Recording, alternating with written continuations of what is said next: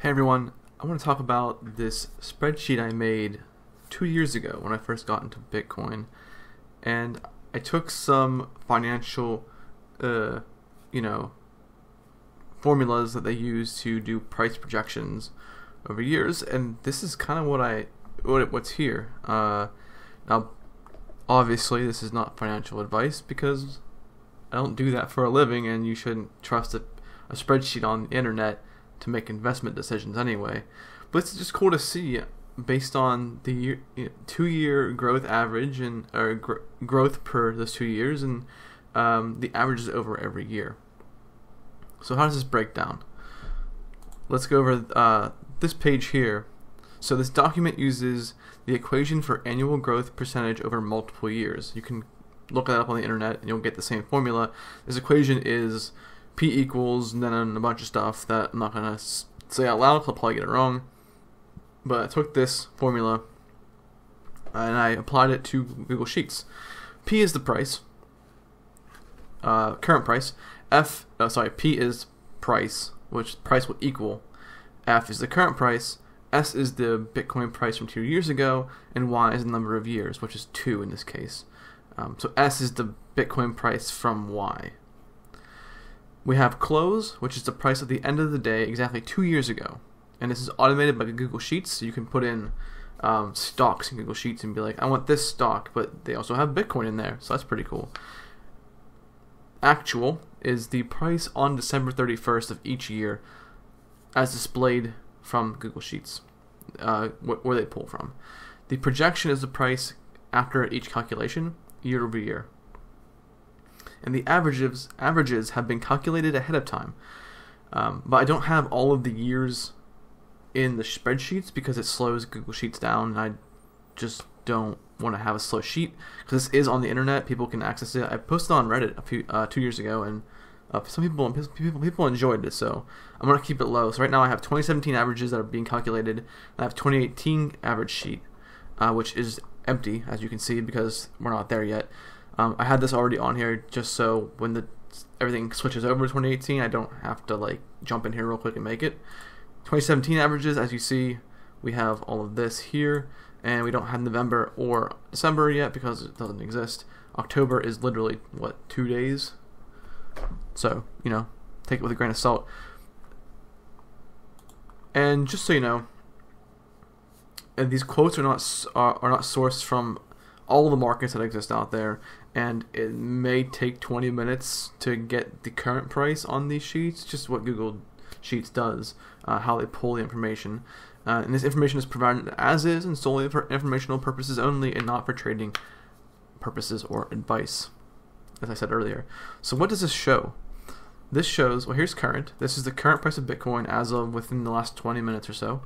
Here is the close price that it was two years ago on today so at the end of day close price, which is it's a 24 hour thing, but if you would go onto a trading chart and you go back two years ago and you say, what's today's close, like October 2nd of two years ago, what's the close price? It'd be that.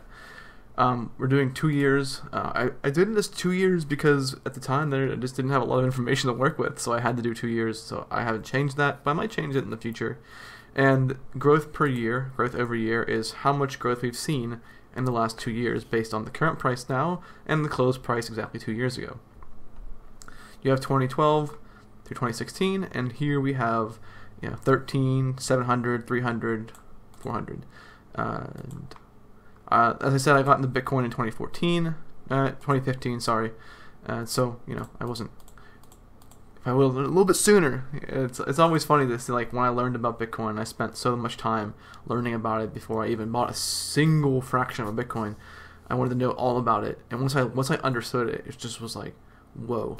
And so I started uh, started dabbling, and I got so obsessed with it. I made this sheet. So um, this is saying that 2018 is projected to hit 18,000. It's obvious it's not going to hit that, but is it unlikely that it could hit that in 2018?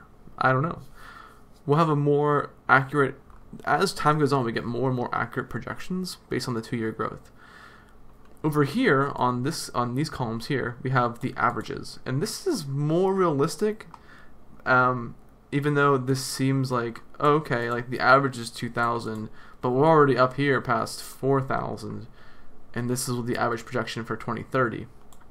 Again, it's just a it's just a chart. It's a spreadsheet. It just is not made for like, oh, it's gonna be six quadrillion dollars in 2040. So let's pull my life savings into that. That's silly. It's it's this is here really for informational purposes and, and entertain myself making it, and I love looking at it to see like what could it possibly be one day. It's just it's so awesome to see. But so years average. This is calculated from the spreadsheets right here. 2017 spreadsheet. That's his price right here. The average over this entire year is $2,737.70 as of now. And the projection, so it's projecting that we will end the year, we'll close the year with an average of $2,824.67. And this average is, this growth average is 13, uh, 3.8%. This is based on all of these. As you can see back here, it's all very close. There's not much change in these prices. This is a huge jump. And it kind of should signal, like, either there's getting a lot more people involved in it and the technology's taking off faster, or we're in some kind of bubble. I don't know. I'm not a financial expert. I have no idea. I just like looking at the prices. So what happens if we change something here? So this is all calculated based um, on the years and this average percent and this percent. You just saw it change because it updated in the sheets on this 2017 sheet updated. And this is all calculated based on these numbers here. So if we change this is a multi-year graph uh, multi-year formula. So if I, I can change it to anything two years or, or older or higher uh, but putting one year in wouldn't work. There's a different formula for like within a single year's growth and I didn't do that. This this made more sense to me when I made it at the time. But I can change this. So two years ago was 2014. Well, what if we do five years ago when it was thirteen dollars? That would obviously change the price of things, wouldn't it? Wouldn't it? If we do five, we get a much different number. Interesting, right? So current price is this. Close price exactly five years ago was twelve dollars and eighty nine cents, and we end up with a closing price in 2017 of a uh, $14,086.32 and we get 2020 just under $500,000, 2021 costing a million. And it doesn't really change the averages. It changes the percent, went from 3% to 1%, or just over 1%. But you can see this doesn't change too much because uh, these are averages over the entire year. I took every single day. You can, you can see right here if I pull this down. It's every single day that there's information. Uh, whatever information Google's pulling from doesn't have every day for some reason. Some, so again, this is a you know grain of salt, but I have it asking for all every day. All right, and so yeah, that's kind of how that's kind of how that works. You, uh, you can I can change it if you want to take this. You can make a copy of it. I will link it somewhere on this page no matter wherever you're watching. I don't know where you're watching this at, but I'll link this somewhere, and you guys can make a copy of it, and you can mess with it and see what happens.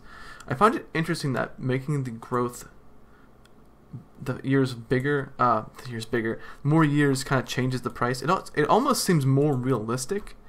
Like obviously, like hitting fourteen thousand by this year is going to be. It sounds really far projected, but it doesn't seem far fetched for next year, end of next year, right? Because we saw so much growth and we can see so much more.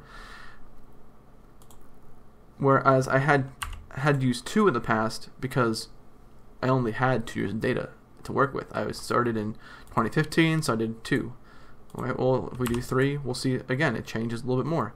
Three years is even is even more different. So three years ago was 2014, and we're getting uh, $319.86 is where it ended on that year. This is this number comes from the number of the December 31st close number. For this is all US dollars and I don't know when Google does close, probably West Coast time, uh, but that's what number number gets. And here it is. Even this is even more seems more realistic.